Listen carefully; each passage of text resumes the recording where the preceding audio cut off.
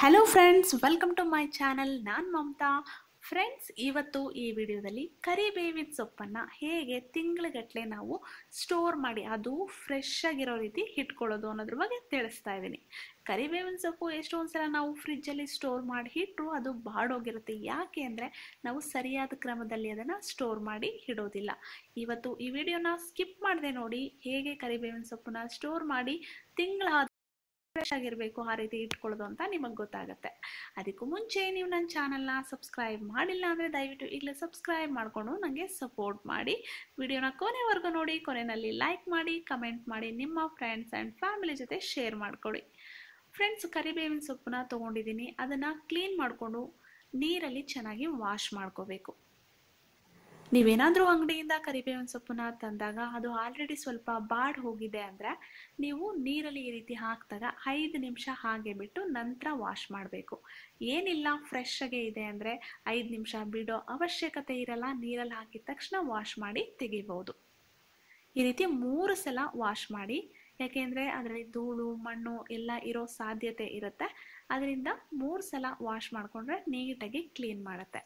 ಈ ರೀತಿ ಮೊದಲೇ ಎಲ್ಲನೂ ವಾಶ್ ಮಾಡಿ ಇಟ್ಕೊಂಡ್ರೆ ನಾವು ಪದೇ ಪದೇ ಯೂಸ್ ಮಾಡುವಾಗ ವಾಶ್ ಮಾಡೋ ಅವಶ್ಯಕತೆ ಇರಲ್ಲ. ತಕ್ಷಣಕ್ಕೆ ನಾವು ತಗೊಂಡು ಯೂಸ್ ಮಾಡ್ಬೋದು. ಎಷ್ಟೋ ಸಲ ಕರಿಬೇವಿನ ಸೊಪ್ಪನ್ನ ತೊಗೊಂಬಂದಿರ್ತೀವಿ. ಆದರೆ ಅದು ಒಂದೆರಡು ದಿನ ಆದಮೇಲೆ ಬಾಡೋದ ನಂತರ ವೇಸ್ಟ್ ಮಾಡಿಬಿಡ್ತೀವಿ ಅಲ್ವಾ? ಈ ರೀತಿ ಮೆಥಡನ್ನು ನೀವು ನಾನಿವತ್ತು ತೋರಿಸ್ತಿರುವಂಥ ಟ್ರಿಕ್ಸ್ನ ಫಾಲೋ ಮಾಡಿದ್ರೆ ಕರಿಬೇವಿನ ಸೊಪ್ಪು ನಿಮ್ಮ ಮನೆಯಲ್ಲಿ ವೇಸ್ಟೇ ಆಗಲ್ಲ. ನೀವು ಒಂದು ತಿಂಗಳಾದ್ರೂ ಅದು ಅದನ್ನು ಫ್ರೆಶ್ ಆಗಿ ಯೂಸ್ ಮಾಡ್ಬೋದು. ಮೂರು ಸಲ ನೀರಲ್ಲಿ ವಾಶ್ ಮಾಡಿದ ನಂತರ ನೋಡಿ ಅದರ ನೀರೆಲ್ಲನೂ ನಾವು ಸೋರಿಸ್ಕೊಬೇಕು. ಆ ರೀತಿ ಒಂದು ಪಾತ್ರೆನಲ್ಲಿ ಹಾಕಿ ಎಲ್ಲ ನೀರನ್ನು ಚೆನ್ನಾಗಿ ಸೋರ್ಸೋದಕ್ಕೆ ಇಡಿ.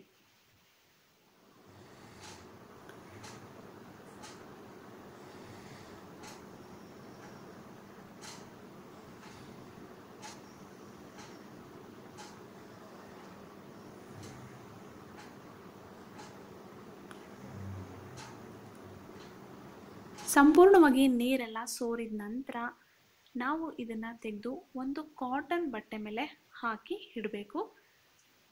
ಒಂದು ಕಾಟನ್ ಬಟ್ಟೆ ಮೇಲೆ ಹಾಕೋದ್ರಿಂದ ಅದು ನೀರಿನ ಅಂಶ ಎಲ್ಲ ಹೇಳ್ಕೊಳ್ಳುತ್ತೆ, ಇದು ಬೇಗ ಹಾರೋದಕ್ಕೆ ಈಸಿ ಆಗುತ್ತೆ. ಮತ್ತು ಇದನ್ನು ಬಿಸಿಲಲ್ಲಿ ಒಣಗಿಸ್ಬಾರ್ದು ಫ್ಯಾನ್ ಕೆಳಗಡೆ ಇಡ್ಬೋದು ಅಥವಾ ಹಾಗೆ ಗಾಳಿನಲ್ಲಿ ಹಾರೋದಕ್ಕೆ ಬಿಟ್ಬಿಡಿ. ತುಂಬ ನೀರಿದೆ ಅಂದರೆ ಈ ರೀತಿ ಬಟ್ಟೆನಲ್ಲಿ ಈ ರೀತಿ ಪ್ರೆಸ್ ಮಾಡಿದ್ರೆ ಅದರಲ್ಲಿರೋ ನೀರಿನ ಅಂಶ ಎಲ್ಲ ಕಡಿಮೆ ಆಗುತ್ತೆ. ಈ ರೀತಿ ಸ್ವಲ್ಪ ಹೊತ್ತು ಬಿಟ್ಟರೆ ಸಾಕು. ಇದೆಲ್ಲ ಪೂರ್ತಿ ಡ್ರೈ ಆಗುತ್ತೆ. ನೀರಿನ ಅಂಶ ಸ್ವಲ್ಪನೂ ಇಲ್ಲದೆ ಇರೋ ರೀತಿ ನಾವು ಇದನ್ನು ಜಸ್ಟ್ ಗಾಳಿನಲ್ಲೇ ಡ್ರೈ ಮಾಡ್ಕೋಬೇಕು. ನೋಡಿ, ಈಗ ಹಾಗಿದೆ. ಇದರಲ್ಲಿ ಸ್ವಲ್ಪ ಕೂಡ ನೀರಿನ ಅಂಶ ಇಲ್ಲ. ನೀರಿನ ಅಂಶ ಏನಾದರೂ ಇದ್ದರೆ ಅದು ಬೇಗ ಹಾಳಾಗ್ಬಿಡತ್ತೆ. ಈ ನೀರಿನ ಅಂಶ ಇಲ್ಲದೆ ಇರೋವಂಥ ಈ ಕರಿಬೇವಿನ ಸೊಪ್ಪನ್ನು ಒಂದು ಕಾಟನ್ ಬಟ್ಟೆ ಮೇಲೆ ನಾನು ಹಾಕಿ ಇಟ್ಕೊಂಡಿದ್ದೀನಿ. ಒಂದು ಕಾಟನ್ ಟವಲಲ್ಲಿ ಟವಲ್ ಮೇಲೆ ಹಾಕಿ ಇಟ್ಟಿದ್ದೀನಿ. ನೋಡಿ ಎಷ್ಟು ಫ್ರೆಶ್ ಆಗಿದೆ ಕರಿಬೇವಿನ ಸೊಪ್ಪು.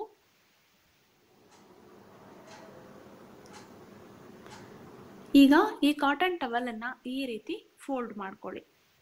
ಸಂಪೂರ್ಣವಾಗಿ ಒಳಗಡೆ ಇರುವಂಥ ಕರಿಬೇವಿನ ಸೊಪ್ಪು ಕಾಣಿಸ್ಬಾರ್ದು, ಅದು ಫುಲ್ಲು ಕವರ್ ಆಗಿರಬೇಕು, ಆ ರೀತಿ ಫೋಲ್ಡ್ ಮಾಡ್ಕೊಳ್ಳಿ.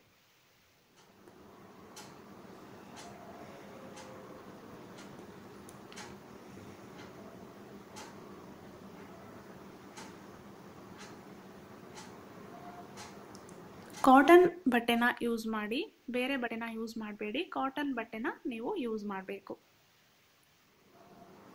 ಈ ರೀತಿ ಇದನ್ನು ಫೋಲ್ಡ್ ಮಾಡಿದ ನಂತರ ನಿಮ್ಮ ಮನೆಯಲ್ಲಿ ಇದಕ್ಕೆ ಆಗುವಂಥ ಇಷ್ಟು ಅಳತೆಗೆ ಆಗುವಂಥ ಒಂದು ಪ್ಲಾಸ್ಟಿಕ್ ಕವರ್ನಲ್ಲಿ ಹಾಕಿ ನೀವು ಫ್ರಿಜ್ನಲ್ಲಿ ಇಡಬೇಕು.